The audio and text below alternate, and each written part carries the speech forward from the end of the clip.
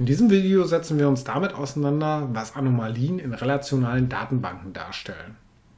Zuerst einmal, im Regelfall gilt es, Anomalien zu vermeiden. Und durch richtige Normalisierung können Anomalien auch in relationalen Datenbanken eigentlich vermieden werden. In der Regel reichen uns dafür die ersten drei Normalformen. Zum Thema Normalisierung werde ich euch ein weiteres Video hier reinstellen und auch, sobald es fertig ist, verlinken.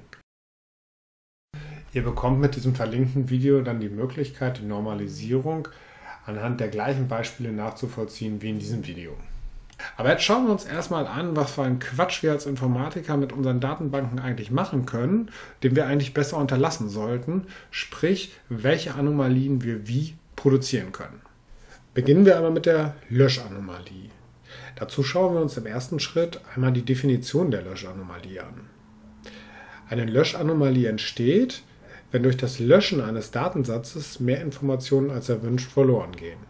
Sie entsteht, wenn ein Datensatz mehrere unabhängige Informationen enthält. Hört sich jetzt erstmal kompliziert an, ist aber relativ einfach. Wir schauen uns das Ganze anhand des Beispiels der Firma HyperEDV an, die aktuell eine unnormalisierte Datenbank zur Verfügung hat.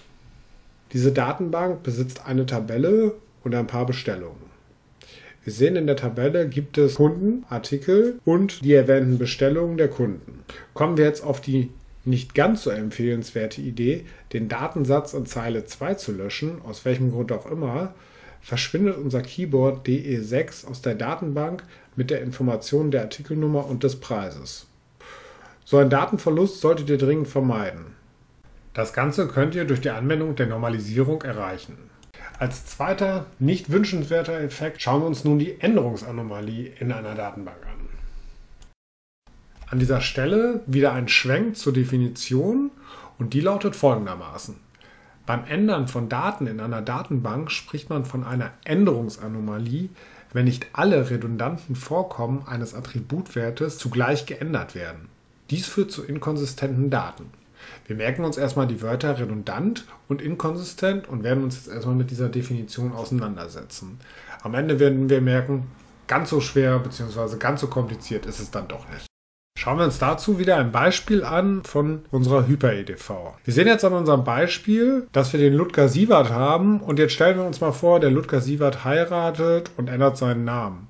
In unserem Fall heiratet Ludger Sievert nun Kerstin Müller und nimmt auch ihren Nachnamen an was wir gleich in unserer Datenbank vermerken wollen. Jetzt müssen wir beim Ludger allerdings alle Einträge ändern. Jetzt denkt ihr, zwei Einträge ändern?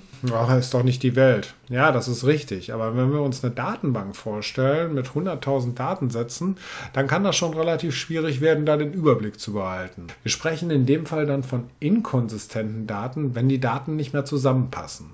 Bedeutet, wir haben einen Eintrag mit Ludger Siebert und wir haben einen Eintrag mit Ludger Müller. Das bedeutet also, die Daten in der Datenbank sind nicht mehr korrekt, beziehungsweise sie sind inkonsistent, weil sie widersprüchlich sind. Außerdem haben wir vorhin das Wort redundant gehört. Von redundanten Daten sprechen wir, wenn die Daten, wie wir ja gerade gesehen haben, doppelt vorkommen. Es gibt mehrere Einträge zu unserem Ludger und auch mehrere Einträge zu Hans Oecker. Bedeutet, wir haben in dieser Datenbank bzw. in dieser Tabelle redundante Daten. Als guter Informatiker lässt man weder redundante noch inkonsistente Daten erst aufkommen. Auch hier gibt es nur eine Lösung und die lautet Normalisierung. Am Schluss müssen wir uns nochmal über die Einfügeanomalie unterhalten. Nochmal ein kleiner Exkurs zu den Primärschlüsseln. Primärschlüssel sind die Attribute, die unterstrichen sind und diese kennzeichnen einen Datensatz eindeutig.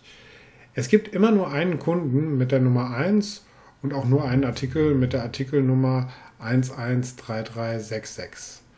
Bedeutet, diese Spalten eignen sich für den Primärschlüssel, da diese Spalten diesen Datensatz zweifelsfrei kennzeichnen und wirklich nur einmalig vorhanden sind.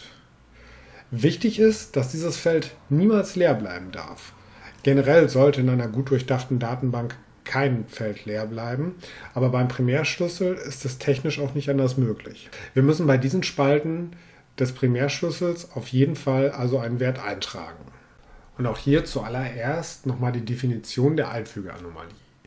Beim Einfügen von Daten in eine Datenbank spricht man von einer Einfügeanomalie, wenn ein neues Tupel in die Relation nicht oder nur schwierig eingetragen werden kann, weil nicht zu allen Attributen des Primärschlüssels Werte vorliegen. So können beispielsweise Informationen nicht aufgenommen werden, da andere in diesem Zusammenhang uninteressante bzw. diesem Zeitpunkt unbekannte Angaben fehlen. Jetzt gucken wir uns nochmal unser Beispiel an und wir möchten einen neuen Kunden anlegen, und zwar den Markus Müller. An der Stelle müssen wir aber nun gleichzeitig auch die Spalten Bestellnummer und Artikelnummer befüllen, da es sich hier ebenfalls um einen Primärschlüssel handelt. Hat Markus Müller aber noch nichts bestellt, sondern soll erstmal nur als Kunde eingefügt werden, funktioniert das technisch nicht und das kommt zu einer Einfügeanomalie. Als gute Datenbankentwickler müssen wir dem Anwender natürlich die Möglichkeit geben, dass dieser nur einzelne Kunden separat ohne eine Bestellung oder ohne einen Artikel in die Datenbank einträgt. Auch hier hilft uns an der Stelle wieder die Normalisierung, dass dieses Problem gar nicht erst auftritt. Das war mein Video zum Thema Anomalien aus der Reihe Datenbanken.